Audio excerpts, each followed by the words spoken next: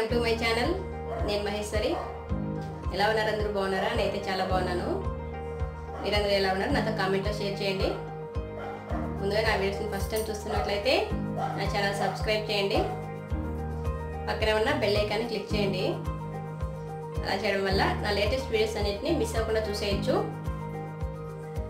ఈరోజు వంకాయ ఆలుగడ్డ కూర్మా చేస్తున్నాను. చపాతీలోకి అన్నంలోకి దోశలోకి అన్నింటిలోకి చాలా బాగుంటుంది. స్టవ్ ఆన్ చేసి చిన్న ప్యాన్ పెట్టుకున్నాను. పల్లీలు. ఇవి వేగడానికి కాస్త టైం పడుతుంది కదా అందుకే పల్లీలు ఫస్ట్ వేసుకున్నాను.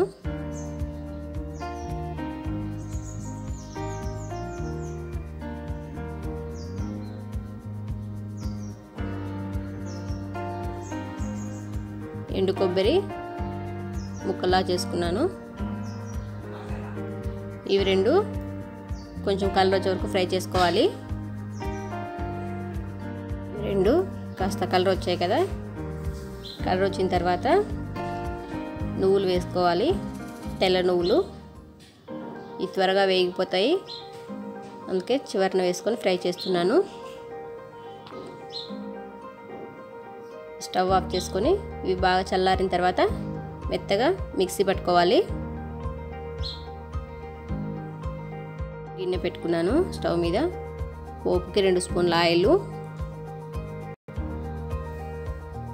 పోపు దినుసులు వేసుకున్నాను ఇవి కాస్త ఫ్రై అయిన తర్వాత ఉల్లిపాయ ముక్కలు.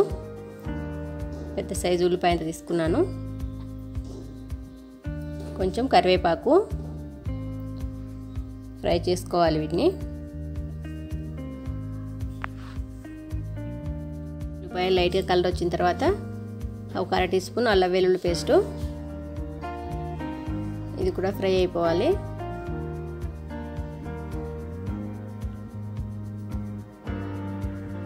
కొంచెం పసుపు.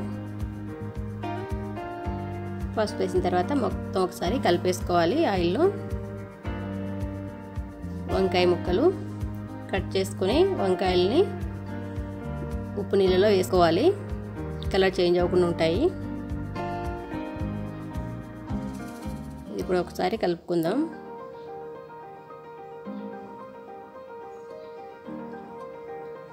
కలిపేసిన తర్వాత ఆలుగడ్డలను తొక్క తీసేసుకుని చిన్న చిన్న ముక్కల్లా కట్ చేసుకున్నాను. వాటిని ఇప్పుడు వేస్తున్నాను ఇందులో.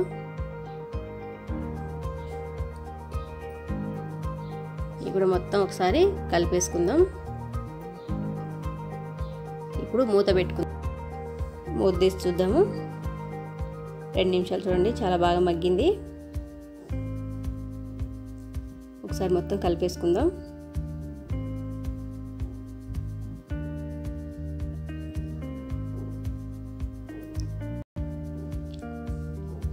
రెండు టమాటాలు సన్న కట్ చేసుకున్నాను.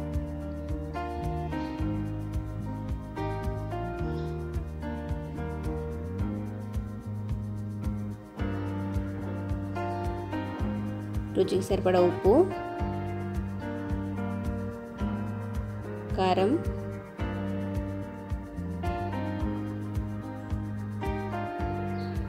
మొత్తం కలిసేలాగా ఒకసారి కలుపుకుందాం.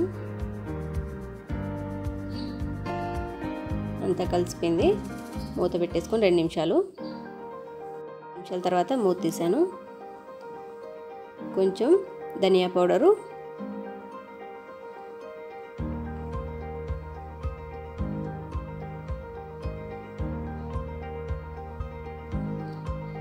పల్లీలు కొబ్బరి మనం ఫ్రై చేసుకున్నాం కదా నువ్వులందుకు వాటిని ఇలా మెత్తగా పేస్ట్ లాగా చేసుకున్నాను. పేస్ట్ చేయడం వల్ల బాగా కమ్మగా ఉంటుంది కూర్మా. కలిపిన తర్వాత కొంచెం వాటర్ వేసుకున్నాను.